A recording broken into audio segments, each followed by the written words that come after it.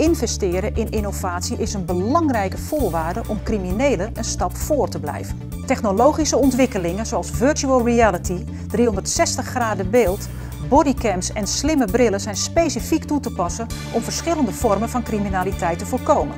En dat lukt alleen als overheid, bedrijven en ontwikkelaars hun kennis en ervaring delen. Naast de virtual reality, augmented reality, gaan we zien dat er heel veel devices op de markt komen. Die worden steeds kleiner. Heel veel van die devices hebben te maken met sensoren, hebben te maken met beeldverwerking, om informatie te verzamelen en informatie te analyseren.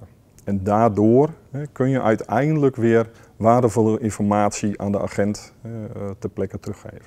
Volgens mij hebben we allemaal een, uh, een, gedeeld belang. Veiligheid is voor ons allemaal belangrijk. Voor de overheid een uh, primaire taak, maar voor ondernemers ook randvoorwaardelijk om goed hun bedrijfsvoering te kunnen doen.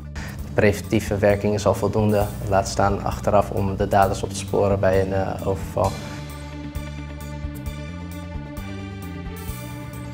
We hebben de afgelopen jaren ontzettend mooie resultaten behaald.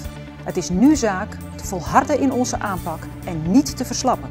Om criminaliteit structureel terug te dringen hebben overheid en bedrijfsleven elkaar keihard nodig. Ook u kunt daar een bijdrage aan leveren.